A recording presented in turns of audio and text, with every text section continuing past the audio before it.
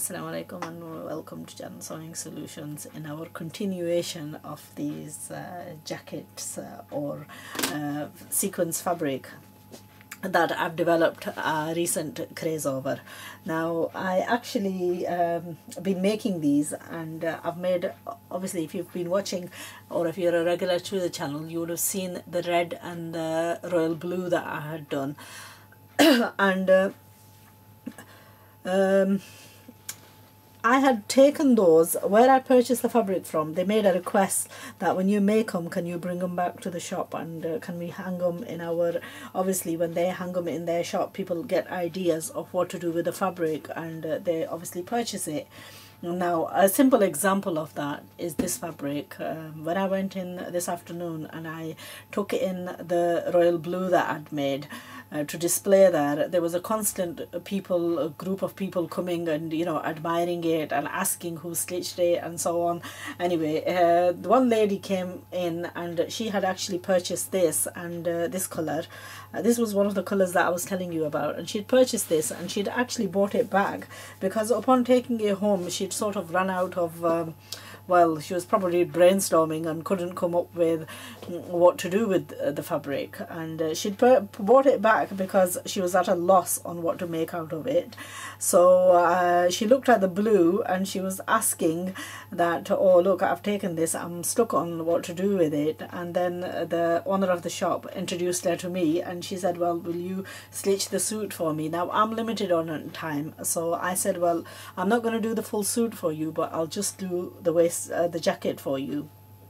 Now I walked away uh, with the fabric and what I told her I, I would do for her is the leftover pieces. What I would do is I would iron the sequins on for her and uh, she can trim away from the sides of this and then use it for the dress part. Now the dress she she actually purchased um, this uh, Banarsi fabric with it and uh, she was going to make uh, well I suggested to her to make uh, underneath this make the center panel that would be visible from the center of this in the Banarsi because obviously Banarsi would give it a more because she didn't have uh, the similar fabric so what she's going to do hopefully is going to make this uh, center panel in Banarsi and then the bottom of the dress she's going to uh, layer it in the velvet that I took a piece away and i have left her the rest of it. And uh, these motifs then she can uh, do the um, upper portion of the velvet with the sequins. Um, and obviously if she wants to add the sleeves on. Now what I've done with this one is um, uh, I've sort of piped this along the arm uh, armhole uh, with a gold color and I've also used gold color to uh, use as the bottom trim. And uh, the other thing I've done is I've added a drawstring on this and uh, basically you can you know take it down and up and tighten it up or loosen it up to the required. And then I, we bought these fancy these fancy um, light balls to add to give it the finishing. So that's the back and that's the front. And again the beauty of this fabric is that you can use every portion of it uh, and if you're sort of wise and clever about it then you know you're gonna get um, your money's worth basically. And that's exactly what we've done. Got every uh, penny of our fabric worth because I would keep these and I would use them on you know how uh, on the back of the dresses or shirts and you can use these motifs to actually finish off any type of dress. So I've been going a bit crazy with all this um, buying of this fabric.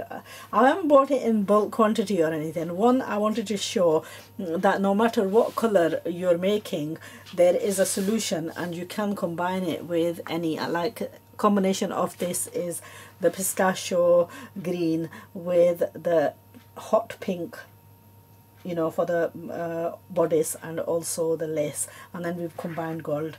So but the suit itself is going to have to be in this uh, this um, sort of a green color because otherwise it would not stand out. So anyway that's another idea for you. I do hope that many of you will experiment and uh, make these beautiful jackets. They are very very unique. Mm, I had an instance uh, yesterday. I was actually oh, working online and I saw uh, somebody wearing one of these in a red color and it was one of the ready-made you know uh, jackets that are being sold. And uh, to be honest uh, I was quite disappointed because uh, the making of that was not to standard at all and uh, it's actually what spoils an outfit rather than makes an outfit so there's two uh, parts to this. I mean, obviously there's the fabric and then what you do with the fabric and the way you design it and the way you stitch it up. And uh, sometimes a lousy stitching or lousy designing of a fabric actually goes and completely, completely ruins it rather than making it. So I'm hoping that I'm going to be making the adults version and I'm going to give you a display, a sort of a rundown of that. I have bought a sea green to do that in. So inshallah I shall share that with you at the moment. I think this is beautiful fabric for you know children and uh, kids or an occasion. So depending on what occasion you're going to ideal for Eid you know uh, so make advanced preparations for Eid and you know get it stitched and out of the way. Uh, these particular ones um, I think they're for a wedding so